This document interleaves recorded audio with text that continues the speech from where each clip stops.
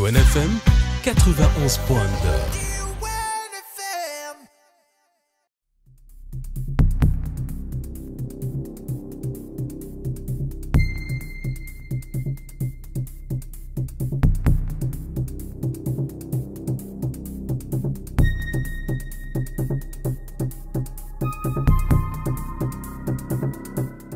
جتنا معلومات بخصوص شخص ليبي الجنسية يتولى تدليس عملة أجنبية ورقات نقدية من فئة 50 أورو.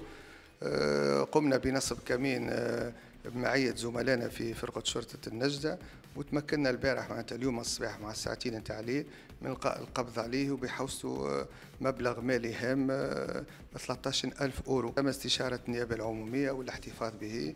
والبحث مازال متواصل بمقر الفرقة باش نتوصلوا للآلة اللي يقوم بتدليس الورقات النقدية بواسطتها والبحث مازال متواصل عنه